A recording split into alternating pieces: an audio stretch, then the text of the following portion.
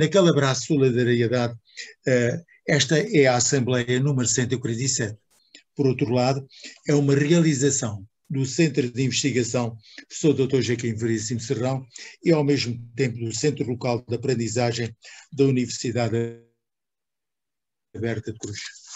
Eu tenho que dizer que esta comunicação que nós vamos ter hoje, por um lado, uh, Rui Sinati, etnógrafo e poeta, pelo Sr. Professor Dr. Lúcio Manuel Gomes de Souza e pela Sra. Professora Dra. Isabel Maria Barros Dias, para nós é uma posição de excelência.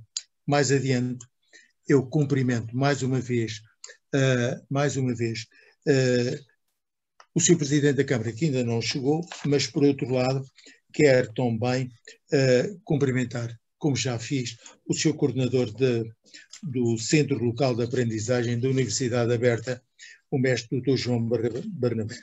Também, por outro lado, eu cumprimento com muito agrado o excelentíssimo senhor, o professor doutor Lúcio Manuel Gomes de, de Souza. Uh, é para mim uma satisfação podê-lo ouvir. Por outro lado, também a excelentíssima senhora professora doutora uh, Isabel Maria Barros Dias.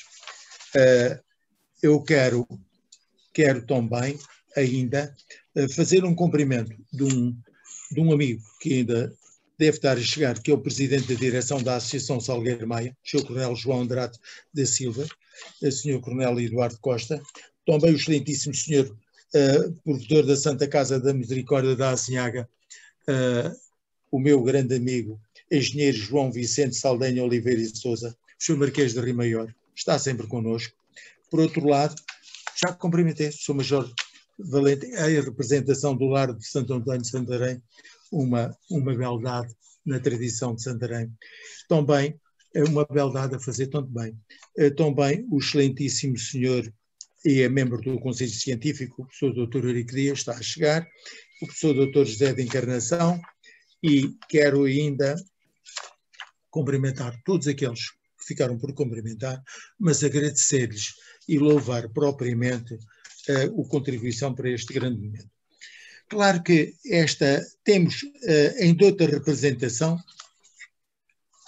uh, temos em outra representação do Centro Local de Aprendizagem da Universidade Aberta em Cruz, o seu coordenador, por caráter intelectual, por natureza, é o mestre doutor, uh, doutor Barnabé. É um mestre para estimular o desenvolvimento e a especialização e a diversificação do trabalho científico. O Centro de, o Centro de Investigação Professor Dr. Joaquim Veríssimo Serrão e o Centro Local de Aprendizagem da Universidade Aberta em Cruz a substanciarem o apoio à investigação sobre as mudanças tecnologias ou tecnológicas e sobre um conhecimento e sobre os novos conhecimentos científicos. O protocolo estabelecido nas suas linhas fundamentais entre o Centro de Investigação Professor Dr. Joaquim Veríssimo Serrão e o Centro Local de Aprendizagem da Universidade Aberta em Cruz, tudo foi em 13 de abril de 2015. Trata do conhecimentos, trata de conhecimentos, de expressões de criatividade humana, sempre a tomar a cultura como um instrumento, desculpa, lá vai outra vez, de felicidade.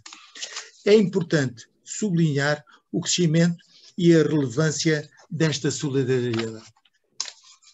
Aqui estamos a dar o conteúdo concreto a esta Assembleia em concretização do conhecimento científico e, nesta medida, elevar a revisibilidade para a evolução das noções e constante revisão de teorias. Constante revisão de teorias.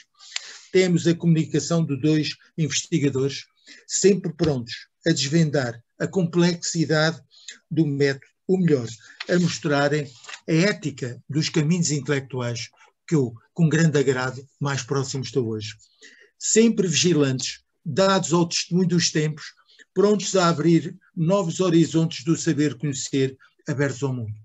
Claro que oferecem os seus frutos de labor e de saber ao estarem com o gosto, o vosso estar com gosto nesta Assembleia de Investigadores com a comunicação Rui Sinati, etnógrafo e poeta pelo Sr. Professor Dr. Lúcio Gomes de Souza e pela Sra. Professora Dra. Isabel Maria de Barros Dias. Agora, vão perdoar, damos a oportunidade, temos a palavra também do Sr. Coordenador da Universidade Aberta em Cruz, o Sr. Dr. João Barnabé. Faça favor. Senhor Professor, muito obrigado. Uh, boa tarde a todos. Uh, antes, de mais, antes de vos deixar aqui umas breves palavras, e eu prometo que serão mesmo breves, não poderia deixar de cumprimentar e permita-me uh, o trato, o meu estimado amigo, o Sr. Diretor do Centro de Investigação, Professor Joaquim Veríssimo Serrão, Professor Dr. Martinho Vicente Rodrigues, o Sr. Presidente da Câmara Municipal de Santarém, o Presidente da Associação Salgueiro Maia, o Provedor da Santa Casa de Rio Maior, representante do Lar de Santo António, meu caríssimo amigo, permita-me também tratá-lo assim, Major António Valente, estimada Senhora Professora Doutora Isabel Barros Dias, estimado Senhor Professor Lúcio de Souza e ilustres participantes aqui presentes, um cumprimento muito especial para, para, para vocês todos. Antes de, uh, uh, de ser aqui breves comentários, quero também deixar uma nota inicial que tem a ver com questões legais. durante o evento vão ser recolhidas imagens fotográficas e audiovisuais.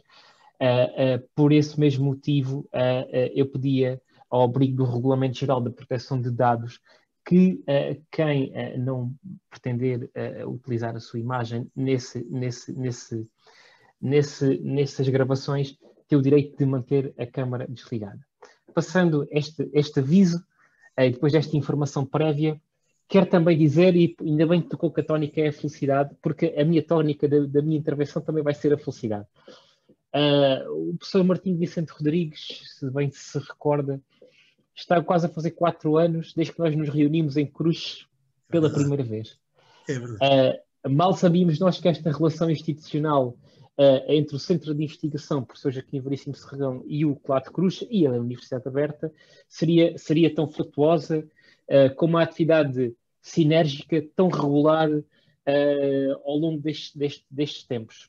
Portanto, esta é, é, a primeira razão pela qual eu estou feliz, é porque efetivamente esta relação que temos tido tem sido muito proveitosa, tem sido de uma grande elevação cultural e, e, tem sido muito importante em prol da difusão do conhecimento científico. Uh, e, por outro lado, tem sido também muito, muito importante para mim, a título pessoal, uh, estabelecer amizade, quer com o senhor professor, quer com toda a equipa uh, que, que, está no centro de investigação. Portanto, este é o meu primeiro motivo de felicidade. Não se esgota aqui. Não se esgota aqui porque, embora a nossa sociedade esteja neste momento a lidar com, com problemas, com, com, problemas que eram desconhecidos, uh, que nos obrigou a mudar o nosso cotidiano, que nos obrigou a mudar os nossos hábitos, uh, mas obrigou-nos também a procurar uh, novas soluções. No nosso caso, porque o conhecimento não pode ser travado, nós não podemos colocar o conhecimento em pausa e temos que continuar a seguir o nosso caminho.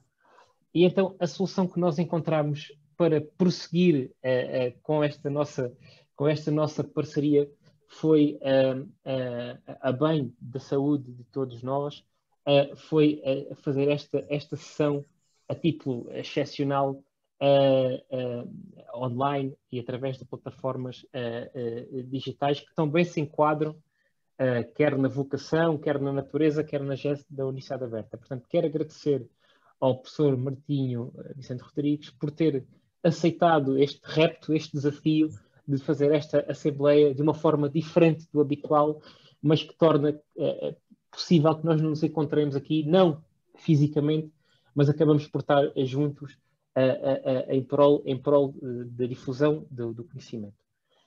Uh, não posso terminar, e eu prometi que ia ser breve, sem deixar uma palavra muito especial de agradecimento também, uh, quer à professora, à senhora professora Isabel Barros Dias, quer ao professor Lúcio de Souza. Uh, o, o, tema que vão apresentar, estou certo que vai ser muito interessante e que vai fomentar, de certeza, um debate muito profícuo e muito e muito muito e muito e vai animar o final desta desta nossa desta sessão. Quero apenas deixar uma última nota, também mais de cariz informativo. no final, durante a sessão, eu vou deixar no chat um questionário de avaliação da sessão Uh, é muito importante para nós também referirmos a vossa satisfação com a iniciativa. Uh, não demora mais de um minuto a responder a, a, às questões, uh, portanto, eu agradecia também a vossa, a vossa colaboração nesse sentido. vou terminar por aqui, reforçar mais uma vez a minha felicidade por, este, por esta iniciativa e por esta relação que tem com o Centro de o Plato Cruz tem com o Centro de Investigação. Portanto, o meu muito obrigado ao professor Martinho, o meu muito obrigado, obrigado. aos presentes e uma boa Assembleia para todos. Obrigado. Obrigado pelas suas palavras e, por sua vez, nós vamos agora dar a palavra ao Sr. Professor Dr. Lúcio Manuel Gomes de Souza.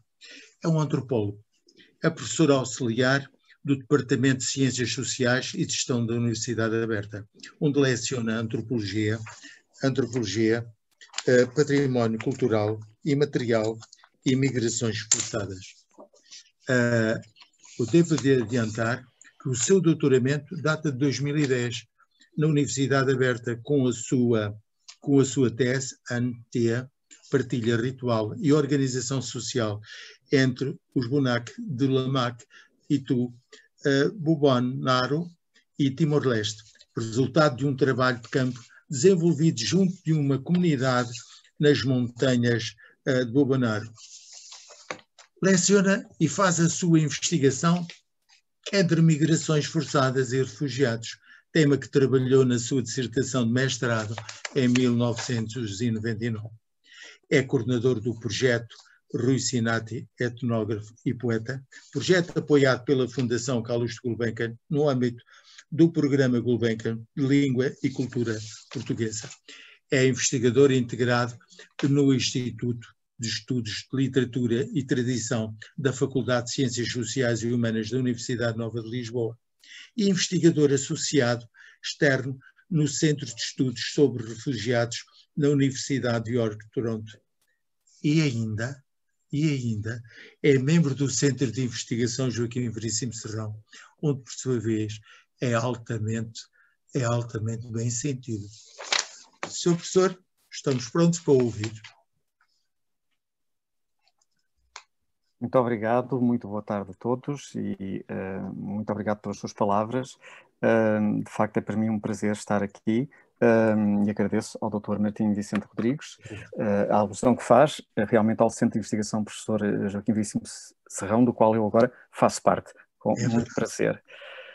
de igual forma, agradeço também ao Dr. João Bernabé, do Centro Local de Aprendizagem da Universidade Aberta de Cruz, por este convite que é partilhado com a minha colega, a professora doutora Isabel uh, Barros Dias, que uh, gentilmente, uh, enfim, partilha comigo este tempo, que uma vez que o projeto em que colaboramos integra-nos, enfim, nas nossas diferentes áreas, mas com perspectivas diferentes sobre o Rui Sinati, mas com todo o interesse que daqui resulta.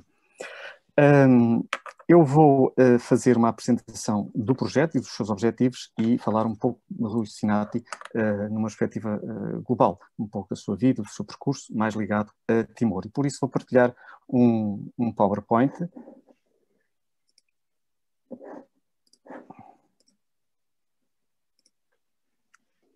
Penso que estão, estão a ver. Está ótimo, Sr. Professor. Pronto, só para contextualizar a imagem que estão a ver, em cima é de uma aldeia, Malilite, que uh, neste momento já não existe, está destruída, é justamente uh, localizada junto a Bobonaro e onde Rui Sinati também esteve. este desenho enquadra-se num grupo de desenhos feitos para a arquitetura timorense, um livro só publicado em 1987, mas que já estava pronto em 1960, um estudo que ele fez juntamente com dois arquitetos, uh, Leopoldo Almeida e Sousa Mendes.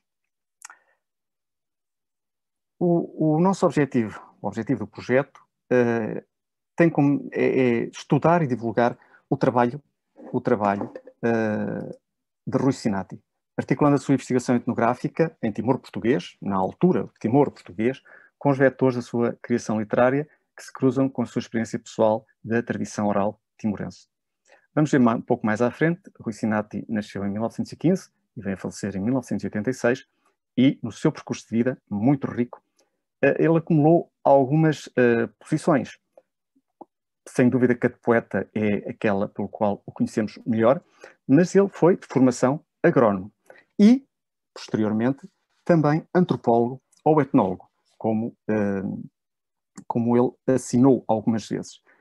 No nosso projeto optamos por etnógrafo para destacar, sobretudo, o trabalho que ele fez no terreno e todo, toda a vivência que teve com os timorenses e o que ele recolheu junto deles em termos de literatura oral uh, e outros conhecimentos ligados aos mitos e lendas daquele país. Portanto, é, sobretudo, aqui uh,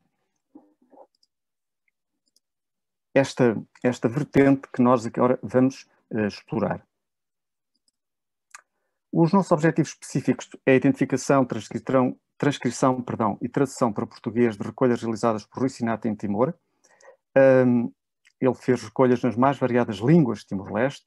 Pretendemos, uh, com este material, uh, editar um livro comentado com, uh, com a participação dos vários membros da equipa e outros, sobre recolhas de tradição oral Kemak e Bunak, efetuadas pelo autor, cruzando esta cera com a sua produção de cariz literário, sobretudo poesia sobre Timor algo que a professora Isabel Barros Dias vai falar. Originariamente, o projeto concentra-se sobretudo uh, na tradição oral Kemak e Bunak, por uma razão muito simples. Uh, eu uh, trabalhei nesta área, vivi nesta área Kemak e Bunak durante alguns anos, e outro membro, os, outro membro do projeto, o professor Dr. Vicente Paulino, da Universidade Nacional de Timor-Loroçai, é também é eh, originário da língua Bunak e, portanto, eh, para nós é mais fácil trabalhar, porque a variedade linguística realmente em Timor é muito importante e às vezes não é fácil compreender-se de região para região. E nós optamos por esta porque dominamos a língua. Ele Kemak e Bunak e eu um pouco de Bunak, menos Kemak.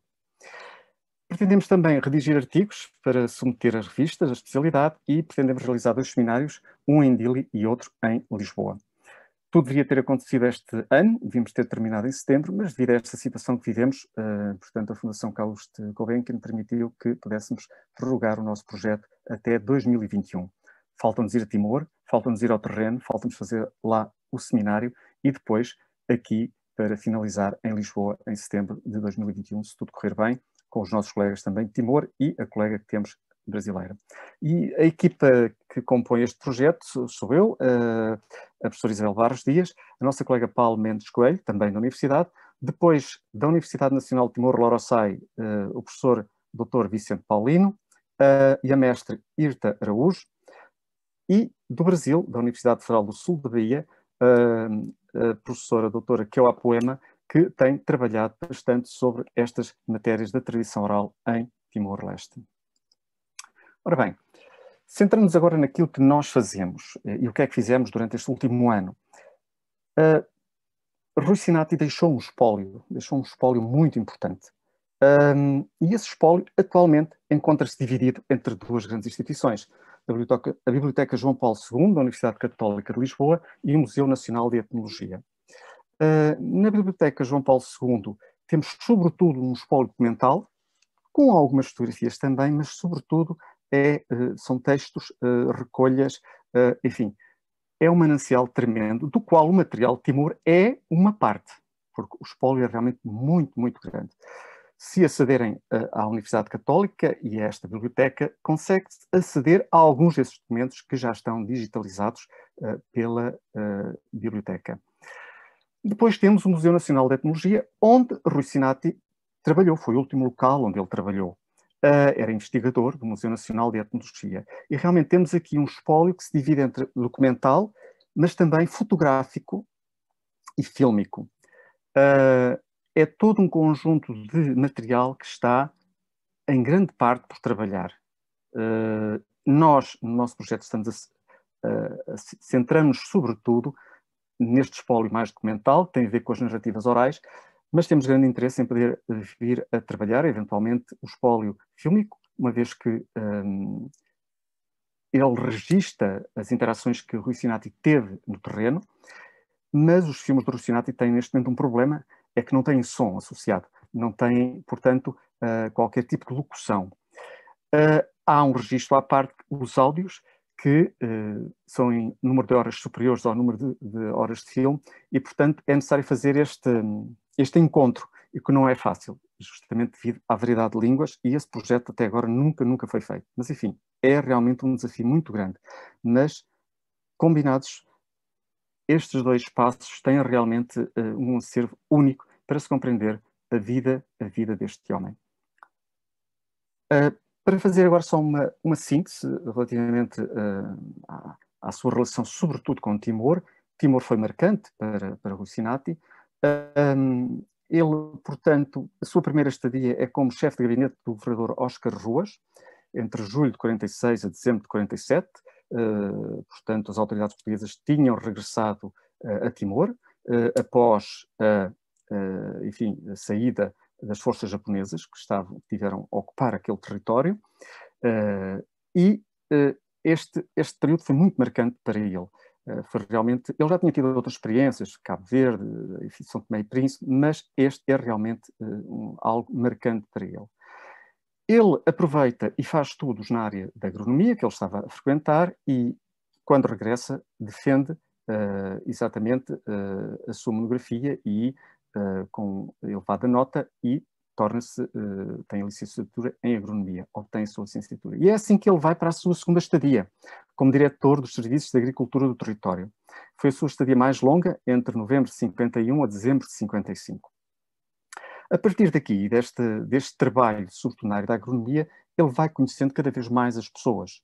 Uh, mas, uh, para além da paisagem, são as pessoas que o vão fascinando também cada vez mais, e isso leva a tentar sempre preocupado em defender os timorenses e em melhorar as suas condições de vida, uh, procurar meios de o fazer por outra forma, mais académica. E para isso ele procurou exatamente estudar antropologia, o que ele vem a fazer uh, em 1957, quando se inscreve em Oxford para estudar antropologia.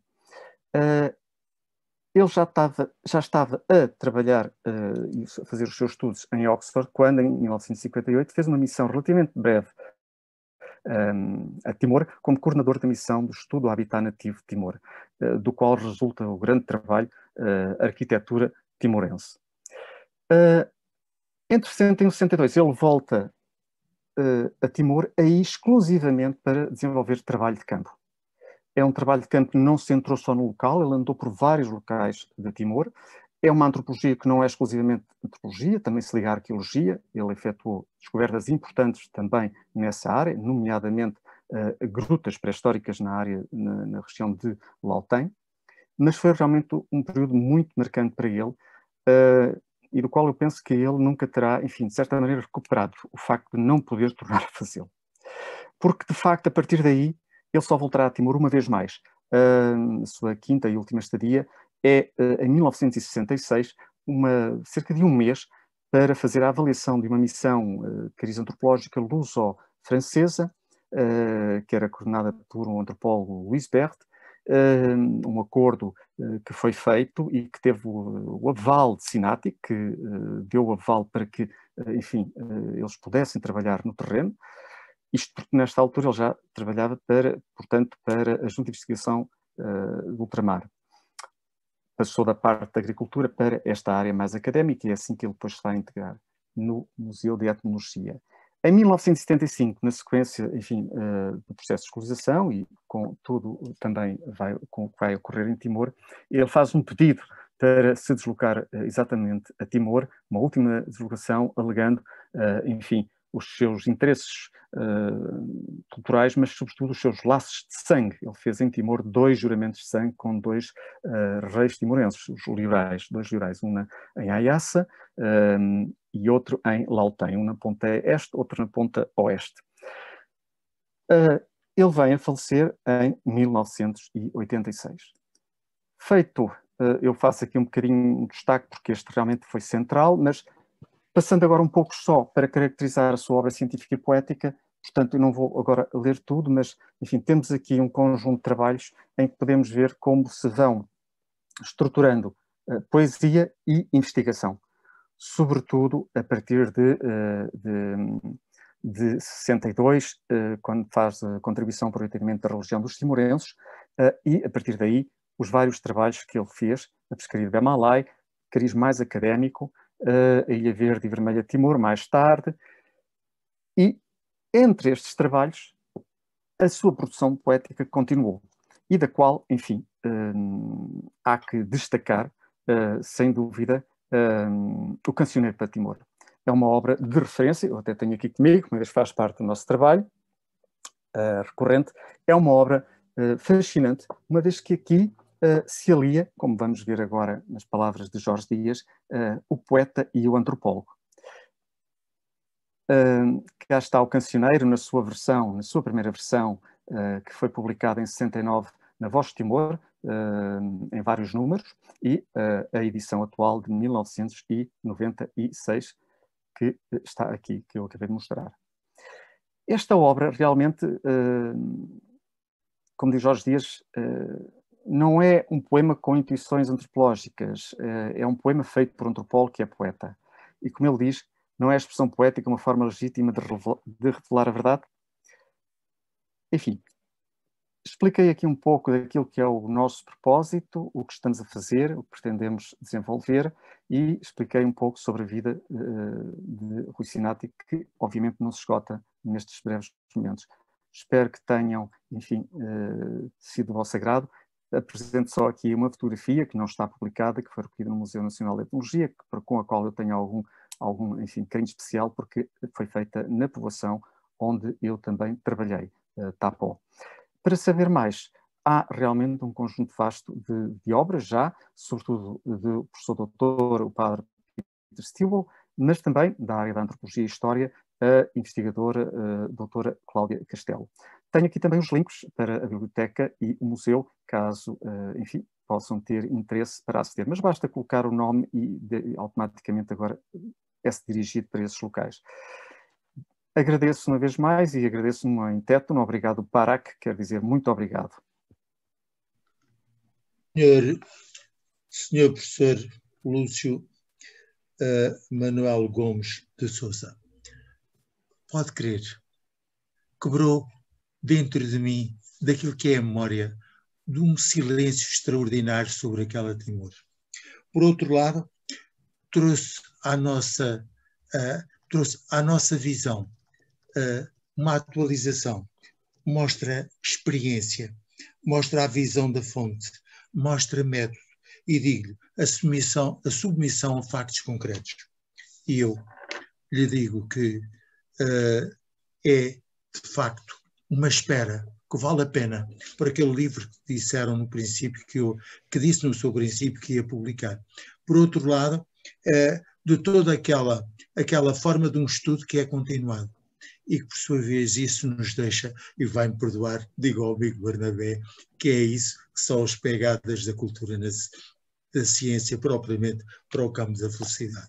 Mas agora vamos então ouvir a senhora professora, a doutora Isabel Maria de Barros Dias.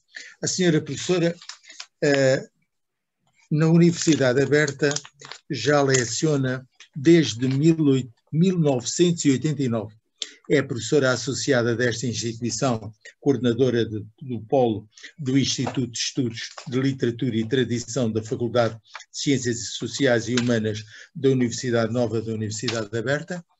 Tem artigos publicados em diversas revistas da especialidade, publicações, por outro lado, uh, coletivas e atas nacionais uh, estrangeiras, bem como dois livros sobre a historiografia medieval ibérica, a Metamorfoses de Babel de 2003 e lá a identidade de lá a historiografia de, 2000, eh, de 2013.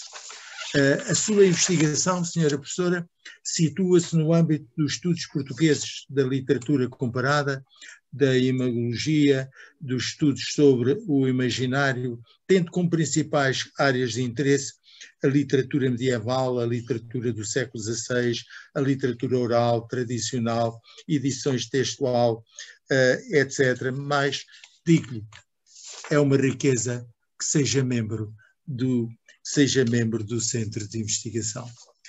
Uh, nós a queremos ouvir. Muito obrigada, Sr. Professor Dr. Martinho Vicente Rodrigues, muito obrigada, meu amigo. Nós nos encontramos outra Já nos conhecemos há alguns é. anos e é sempre um gosto revê-lo e Obrigado. Deste caso poder estar aqui. O mesmo ah, digo. Agradeço também muito ao Dr. João Bernabé, do Centro Local de Aprendizagem da Universidade Aberta, que, uh, que, que fez este convite e este desafio. Uh, agradeço também ao professor Lúcio de Souza, que foi quem me desafiou para esta aventura, que desafiou uma medievalista uh, para uma aventura timorense. Que é, que é tão necessária. Como é eu dizia verdade. há pouco, quebra um silêncio que ficava sob Timor, que por sua vez ouvimos hoje.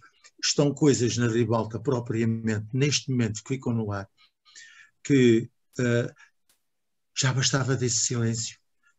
Era necessário saber, era necessário animar propriamente de uma posição que nos fica longe e distante.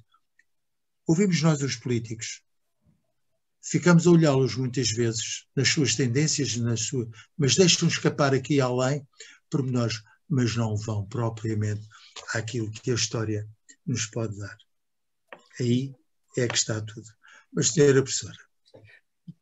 Então, assim sendo, vou começar a segunda parte desta apresentação. Vou também partilhar, partilhar um PowerPoint. A tela, fazer a apresentação. Uh, ora bem. Um, esta será a segunda parte. Vou, vou, vou no fundo, começo com, com um pouco daquilo que o, que o, que o meu colega já, já referiu, os dois, as duas grandes áreas onde fizemos, onde fizemos investigação, e aqui tem, um, tem a página do, do espólio de Rui Sinati, que está na Biblioteca uh, Universitária João Paulo II. Uh, caso entrem naquele link que estava no PowerPoint dele, uh, irão ter esta, esta página na qual poderão fazer alguma pesquisa na qual tenham interesse. Uh, este espólio veio, veio, de, de uma, veio das, da Casa do Gaiato, trata-se de, de, um espólio sobretudo pessoal, uh, composto por textos impressos e por textos uh, manuscritos, que se referem uns a Timor, uh, outros a outras, a outras áreas uh, da, da, vida de, e da obra de Rui Sinati. O espólio do Museu Nacional de Etnologia, tal como já foi dito, é um espólio que, no, inclui, que integra não só documentação escrita, mas também um, apontamentos, áudios, fotografias, vídeos ou seja, foi nestes dois, dois, nestes dois polos que nós uh, desenvolvemos a, a investigação do, relativa a este projeto. O que os, principais traços da, da obra de, de Rui Sinati, e aqui uh, abro já um bocadinho para a questão de, da obra de ser, termos uma parte da obra publicada e outra parte da obra ainda inédita, é, um, fiz aqui simplesmente quatro pontos, uh, aliás cinco que considerei mais, mais, mais marcantes. Um, por um lado, o, a questão da riqueza do mundo interior uh, de Rui Sinati, uh, que uh, tanto ao nível do pensamento religioso como do filosófico, e que foi estudado a fundo por, pelo professor padre Peter Stilwell que aliás vai, eh, na semana que vem, fazer uma apresentação no quadro do nosso projeto, uma apresentação, um webinar também para, os, para o projeto.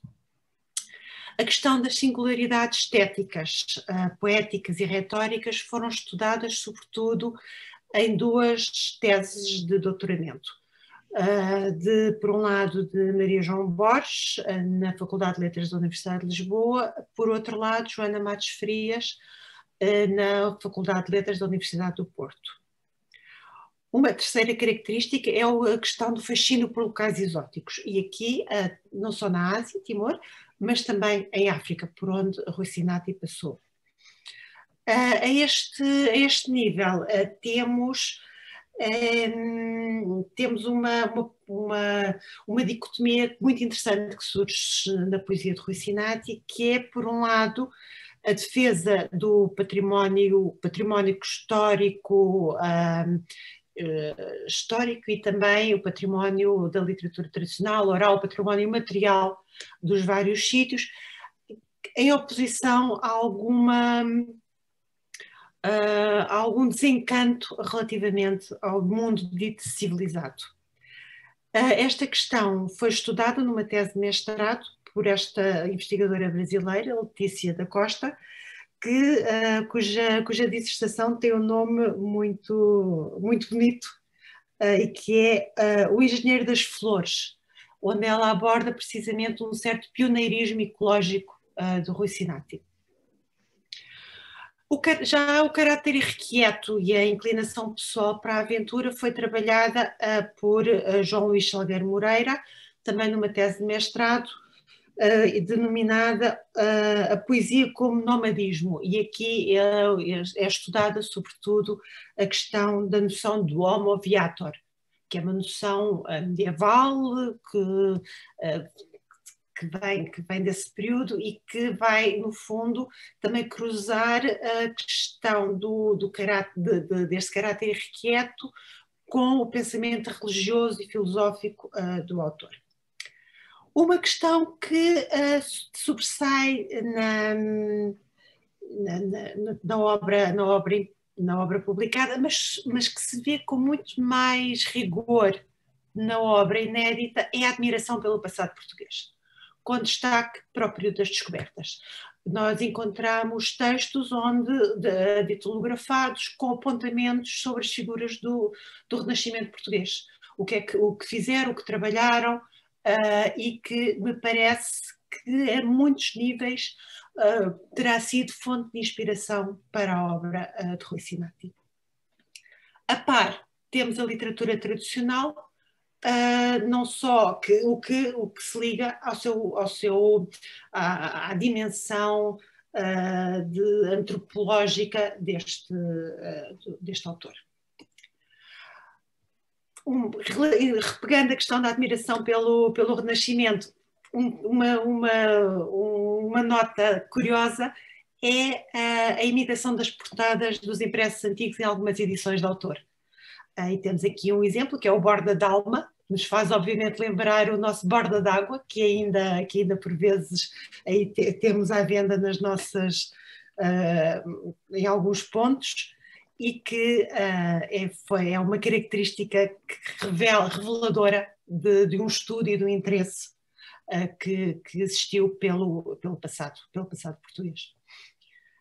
Uh, a seguir, vou-me concentrar em três exemplos de linhas de pesquisa que o recurso a este espólio nos vai sugerir. Por um lado, a prosa inédita. Rui Sinati é sobretudo conhecido por ser um, por ser um poeta, no entanto ele também tem contos uh, contos onde, onde é, onde, nos quais transparece o fascínio pela aventura e pelo mistério, o que é paradigmático dos contos, uh, dos contos fantásticos. Por outro lado, estudos sobre os processos de criação, questão da crítica genética, não sei se têm uma noção do, do, que é, mas vou falar um bocadinho sobre isso daqui a bocadinho. E, finalmente, a identificação de fontes de inspiração e a recriação dessas fontes de inspiração começando pela prosa inédita, aos contos. Há um conto que foi publicado, O Sobó, História de um Pássaro de São Tomé, foi editado em 1936, é um conto poético, portanto há aqui já uma certa miscigenação de géneros, mas para além disso há outros contos, há outros textos narrativos. E dou, trago dois exemplos. Um é o conto A Aventura, que me parece que terá sido um, um conto de juventude, que relata a aventura de um dia em São Tomé e Príncipe. Está aqui a imagem do, da primeira página do, uh, desse conto, que se encontra no, no espólio. Serão, conta uma, uma, uma, travessia por mar, uma viagem por mar, uh, onde, uh, um, na qual o, o barco aporta em São Tomé e Príncipe, e, há, e, durante aquele dia em que o barco está ali, está ali uma, existe uma aventura, um mistério. Outro é um microconto, que é uma coisa atualíssima, que se, na altura não se falava, mas que se fala na alto, na, atualmente. Lá está, é um conto de uma página, sem, neste caso sem título, uh, e um conto de mistério, em que há uma pergunta e um mistério uh, que, associado. Portanto, ou seja, um microconto à valaletre, como se costuma dizer. Passando para, o segundo, para a segunda linha, uh, que me parece que poderá ser fértil, que é a questão uh, da, da, da, identificação de processos de criação. E aqui uh, vou-me concentrar no caso, no, no caso do Um Cancionei para Timor, o tal livro de que o meu colega falou há bocadinho, porque existem múltiplos, talvez por ser um livro que foi, que foi editado mais tarde, foi uma edição póstuma, existem múltiplos exemplares e provas revistas que apresentam potencial para a chamada a realização de um estudo de crítica genética. Ora, o que é que é esta crítica genética? É um estudo uh, que visa identificar o processo de criação de uma obra. Uh, e através da, da, comparação entre as várias versões ao longo de um fio temporal, vendo onde é que há supressões, onde é que há substituições, deslocamentos, acréscimos, percebe-se como foi feito essa, essa evolução. Já têm sido feitos estudos desta natureza, nomeadamente sobre a obra de Fernando Pessoa, e trouxeram revelações muito interessantes, eh, nomeadamente no que se refere ao, ao pertence imediatismo de algumas poesias que se viu, que se, que se provou que foram trabalhadas e retrabalhadas e repensadas e maturadas e repensadas precisamente porque se trata de um autor que guardou muita, muita documentação e percebe-se a evolução uh, dessa, dessa obra. Um, o estudo destes processos recorrem à linguística e à crítica textual e têm, obviamente, em conta a biografia do autor.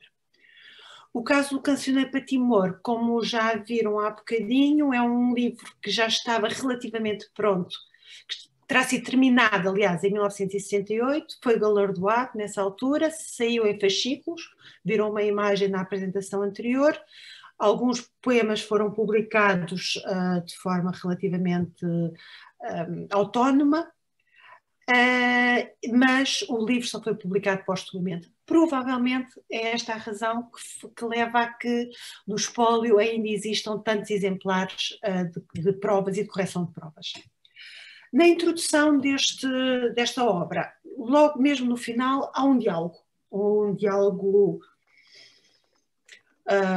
um diálogo até certo ponto filosófico e de argumentação, uh, de argumentação sobre a obra. Ou seja, aparece um, aparece um fantasma do, do timorense meu amigo e vem discutir com o autor Uh, quase como uma disputa escolástica, vem discutir as opções poéticas que o autor fez. Sobretudo esta parte foi muito retrabalhada. Temos aqui o que me parece que terá, será a versão mais antiga. Termina na primeira página, está datilografada, percebe-se que termina, eh, foi interrompida, foi cortada, e no verso da página começa uma, um, novo, um, novo, um, novo, um novo final para este, para este texto. Aqui, nesta versão, temos já uma colagem, temos uma colagem com a versão onde, onde a versão anterior que estava manuscrita no outro, na versão, naquela, naquela imagem que acabei de vos mostrar, já começa a estar integrada no texto. E aqui temos outras, outras revisões de provas com mais colagens e vemos, com base neste tipo de, de documento, com base neste tipo de fonte, conseguimos, com um estudo aturado entre as várias versões, conseguimos chegar uma, ao, ao traçar da, da, do processo criativo uh, deste autor. Passamos então uh, ao, terceiro, ao terceiro ponto, que tem que ver com as fontes de inspiração e a sua recriação. O Cancioneiro para Timor parece-me que é uma obra muito baseada no diálogo. A obra em si é um diálogo entre áreas distintas, artísticas e científicas, ou seja, poesia e etnografia, etnologia, antropologia. Na introdução temos este diálogo uh, que já que acabei, de, uh, acabei de referir, o diálogo entre o eu e o ele, sendo o ele o timorense meu amigo, em termos poéticos, poéticos temos, por um lado, um diálogo com a poesia tradicional timorense, por outro lado, um diálogo com a poesia portuguesa mais antiga, a poesia trovadoresca medieval, e finalmente uma triangulação, ou seja, a interação entre estas duas formas poéticas tem como resultado último o próprio livro Um Cancioneiro para Timor. Uh, a convergência entre a poesia tradicional timorense e a, e a poesia um, trovadoresca portuguesa tem, foi, foi um, ocorre porque o autor considerou que esta era a forma mais adequada para ele poder proceder a, a, ao transvase entre estas duas tradições. E tenho aqui esta citação e uma, e uma outra que uh, explicam precisamente este processo, e vou citar. Correspondem a uma transposição para a língua portuguesa e para uma forma mais habitual da nossa poesia medieval dos dísticos timorenses, nos quais, como nestas, a repetição e o paralelismo se evidenciam, conquanto os dísticos possuem um caráter muito mais ambíguo e por vezes hermético, ou não fossem de raiz oriental. Daí termos desenvolvido as suas ideias e imagens num conjunto quadradístico para melhor compreensão do leitor português. Ou seja, há dísticos timorenses que Sinati depois vai desenvolver em, em conjuntos quadradísticos. Outra convergência, o segredo e o escárnio. E aqui um, o segredo, por um lado, das cantigas de, das cantigas de amigo, das cantigas de amor, e por outro lado, uh, o segredo uh, nas cantigas de escárnio e mal dizer, e aqui vê-se a investigação que ele fez, nomeadamente às edições de Rodrigues Lapa sobre a poesia, um, a poesia uh, trovadoresca galego-portuguesa. Ou seja, ele cita inclusivamente Rodrigues Lapa e a noção de, uh, de cantigas de escárnio, onde palavras encobertas que têm dois entendimentos para que não sejam entendidos ligeiramente. Por outro lado, nas nossas pesquisas encontramos três blocos de recolhas de, de poesias tiburenses. Este é o primeiro, Cantigas em Tétum, uh, e no final com uma canção em Mambai. Este, é o, este, já está numa fase posterior, já, está, já foi passado, uh, uh, já foi datilografado. Uh, são cinco folhas soltas datilografadas que têm, por um, por um lado, nesta primeira coluna, as canções em Bunak e, por outro lado, a tradução em português. Finalmente, outra recolha também é datilografada, mas aqui a imagem é a imagem da última página, onde tem uma pequena adição uh, manuscrita. Uh, e aqui é também um cancioneiro a Bunak. Passamos agora à parte prática e podemos ver a, as, como, como se processa a interação entre, estas dois, entre, estes dois, entre estas fontes. Temos, por exemplo, o poema número 11, quem na montanha se abriga tem tempo para pensar enquanto a chuva desliza que a trovada é o mar. Os da praia já não dizem que a trovada é o mar nas canções em Bunak, eu não vou ler em, não vou ler em Bunak, pode, mas vemos a tradução portuguesa, gente da montanha não sabe das ondas do mar, ribombar do trovão dizem que é do mar. E há outra versão aqui, com uma tradução ligeiramente diferente, os da montanha não conhecem o ruído do mar, dizem que a trovada é o mar. Outro exemplo, Uh, este é engraçado, sou um cãozinho triste, ando sempre a farejar, tenho fome nos teus ombros, não me batas se eu entrar. A tua porta está aberta, não me batas se eu entrar. E a base? Aí vai um com preto, se entrar por engano numa casa, não no batam. Vai o pretinho com o meu, entrar numa casa alheia, porque aí, aí é o seu destino. E vários outros. Este, este uh, que recuperam uma, uma ideia que também é recorrente nas cantigas galego-portuguesas, nas cantigas uh, que, das cantigas nas Albas, onde há um, onde se vê onde ao nascer do, do sol os amantes têm-se de separar, e aqui temos o poema 35. Como a água nas ribeiras, quando chovem catadupas, nossas almas encontram-se, não há ninguém que as separe. De manhã, quando a ave geme, não há ninguém que as separe. E as dísticos, os dísticos Bunak. Já há tempo as almas relacionadas e não há ninguém que as separe. De manhã, quando a ave geme, como o namoro que está a gemer e por aí fora, uh, ainda mais, mais dois que vou passar, para, chegar aqui às convergências temáticas. Uh, convergências temáticas, eu não sei, eu acho que já não tenho muito tempo, imagino, mas não, imagino que não. Uh, por um lado, a questão da identificação da figura feminina com uma corça, outras convergências temáticas com outros, com outros exemplos, e, finalmente, algumas conclusões. Ou seja, as, uh, são duas as grandes linhas de força que, da, por, do ponto de vista dos estudos literários, foram identificadas graças a este projeto. Por um lado, o potencial para novas edições textuais, sejam elas as edições críticas uh, tradicionais que permitem disponibilizar os textos ao grande público, e, por outro lado, estas edições genéticas que são mais académicas e mais complexas no quadro do estudo dos processos de criação do autor. Por outro lado, os estudos de fontes e de influências, ou seja, intertextualidades.